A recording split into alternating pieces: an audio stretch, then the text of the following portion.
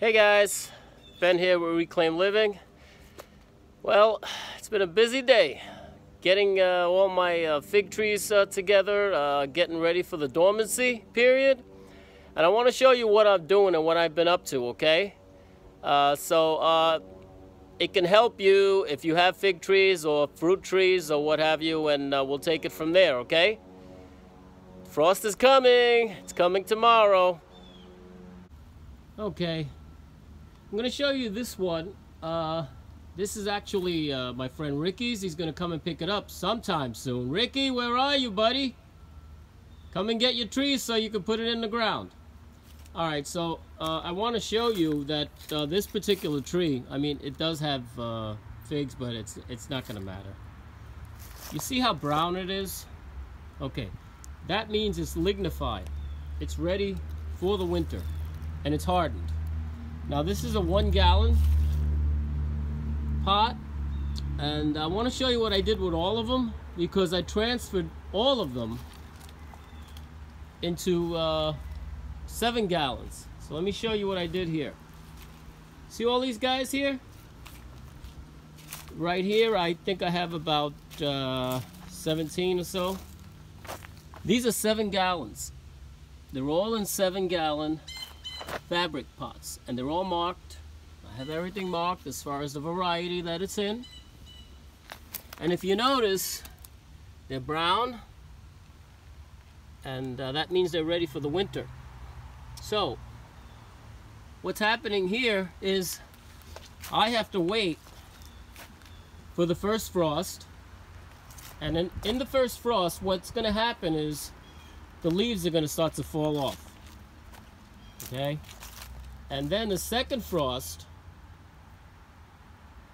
all the leaves should be gone. And if they're not gone you need to get rid of them. Because that means it's gone dormant. The second frost means it's gone dormant. And all that energy that's into the leaves and figs have drained down to the roots. And it's gone asleep. okay so that's what I'm waiting for. That's why I got all these guys out here and I used uh, a lot of my mulch, a wood mulch that I've had in the back of the house that's been mulching for about four years. So that's excellent stuff. It's like gold. So that's these guys here. And what I'm going to be doing with these, I'm going to have to cover them up. I'll show you that in another video when I get there. But what I did is I bagged up all these leaves. I've got about 14 bags here uh, you can see they're gonna stay here. I'm gonna use them as insulation for these little guys because when they're this small you have to cover them some way. Whether you put them in a garage or you you put them in uh, a lean-to or whatever whatever you have you have to cover them from the winds and the cold. It's very important. Okay so uh, let me show you let me go on a little further. I want to show you what I've done in my greenhouse. Follow me, man. Here we go. Okay, before we go into the greenhouse, I want to show you, I'm backing up here. I put a top, a tarp over the whole greenhouse because the plastic would not be able to uh, take on the cold and the winds and the snow, it would prob probably rip it apart. So this is a heavy duty tarp that I once was going to use on my boat, but that's not here anymore. So as you can see, I have uh, some cinder blocks there tied onto the cinder blocks for a little weight. I'll probably add some more, some more weight. Uh, I have uh, all the way in the back there, I've got uh, some uh, well, actually, I have them right here. These guys, I, I may lay on top of the cinder blocks for more weight. Okay, so I got that, and as you can see here, I have it all tied up all the way around. I crimped it around the door because I don't want this thing to uh, come off.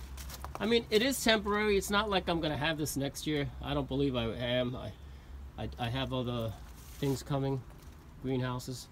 All right, let me show you what I got inside. Okay, here we go. Come into my house, lovely bright house, and be one of the wonderful people. All right, so here, let me show you what I have here. Uh, these blue tanks were actually one, one large uh, container that I cut in half, and they're all in here. All these guys are in here.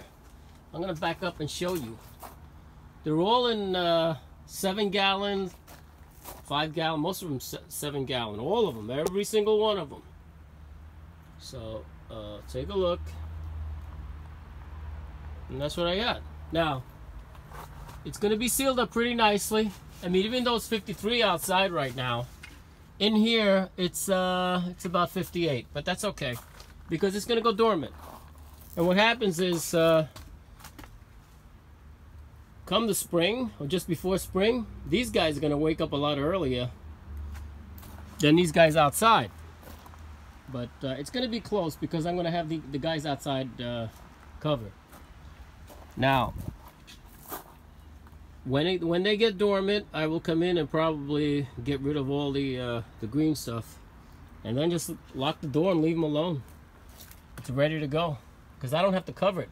I have the cover on it which is double, double cover actually, with the plastic. And that's it. That's where I'm at, guys. So, uh, hey, you enjoy my videos? Subscribe. Got a lot of good stuff coming up. Enjoy the ride, my friends. God bless.